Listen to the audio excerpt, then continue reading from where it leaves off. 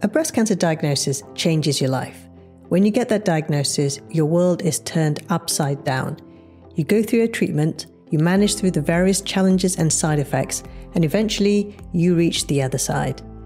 Now you have finished your treatment, your interactions with the surgeon, oncologist, breast care nurses become less frequent, and before you know it, you are discharged back to the community. And this can be an especially difficult time. You have the space to reflect and think about what has happened so far. But the commonest thing I hear from those who have finished their treatment is the fear of the cancer coming back or the fear of recurrence. Hi, my name is Dr. Tasha and I'm a breast surgeon. So, firstly, are there things or strategies that we can do or adopt to minimize the risk of recurrence? Well, the aim of breast cancer treatment is just that to minimize the risk of the cancer coming back. So, we know that taking hormone treatment, if your cancer is hormone receptor positive, reduces the risk of recurrence by over 40%. If you have been recommended to have radiotherapy, that reduces the risk of recurrence. And we also know that chemotherapy reduces the risk of recurrence.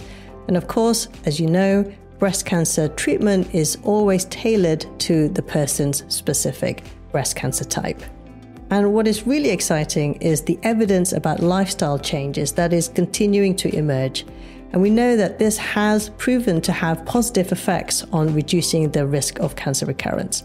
And these include exercise, maintaining a healthy weight, as well as choosing a healthy diet and reducing alcohol intake. So, what is a breast cancer recurrence? Well, a cancer recurrence happens when the breast cancer cells appear either around the original site or the operation site after surgery and treatment, or it appears in other parts of the body away from the original location. And broadly speaking, we can categorize it into three different types of recurrences. The first type is what we call local recurrence. And this is where the cancer returns around the original site of the previous cancer within the breast. Local recurrences occur after surgery, so that's either after a lumpectomy or breast conservation surgery, or after a mastectomy with or without reconstruction. The symptoms are usually a lump, or a thickening within the breast or skin changes which may be new. And if you've had a mastectomy, you may notice skin nodules which appear quite close to the skin surface. And local recurrences are usually self detected.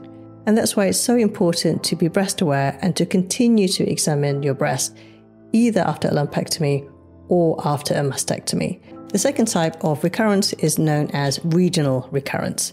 And this means that the cancer has returned in the lymph nodes or lymph glands close to where the original cancer was.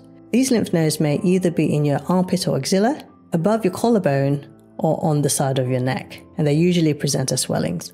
And the third type of recurrence is also known as distant recurrence, or metastatic breast cancer, secondary breast cancer, or stage 4 disease.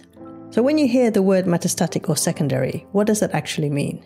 Well, essentially, this means that the cancer has spread from the breast to another part of the body quite further away from where the original cancer was, and it usually affects other organs within the body. Only a small percentage of patients actually present with metastatic disease.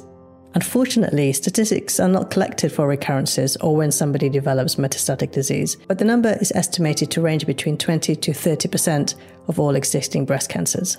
So, where are the common sites where breast cancer normally spreads to? Well, these are normally the lung, the liver, the bone, and the brain. And the symptoms that patients experience really does depend on where the cancer has spread to and what organ it is affecting. But I would say that there are five red flag symptoms that you need to look out for. If the lungs are affected, you may have a non productive cough that's ongoing, sharp pain when breathing, or shortness of breath, Liver symptoms could include a sensation of bloating, abdominal pain or discomfort, especially in the upper right hand side. Bone pain that is either a dull ache or a sharp pain that doesn't go away with no history of trauma. Brain symptoms may include dizziness, unsteadiness on the feet, nausea, vomiting, visual disturbances, fatigue, and maybe even mood swings. And finally, spinal cord compression is a rare red flag symptom, but is one that needs to receive urgent attention should it be present. And the symptoms include severe lower back pain that doesn't go away, numbness or electrical shock sensations down the legs, weakness, difficulty using your arms or legs, um, if you have numbness in the area of the back passage, and really importantly, if you have inability to empty your bowel or bladder, or problems controlling your bowel or bladder. If you get any of these symptoms, then these need to be checked out straight away. Treatment of metastatic breast cancer is usually ongoing throughout the person's life.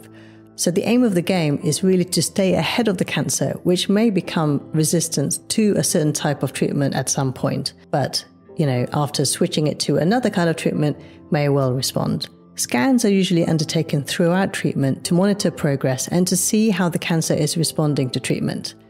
Getting a diagnosis of a recurrence is understandably devastating, and all the emotions experienced at the time of first diagnosis return.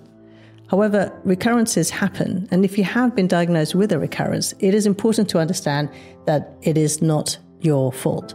The most important thing is that it has now been picked up, and so treatment can begin. I hope this has been helpful. Leave any questions in the comments, and I'll see you in the next one. Take care.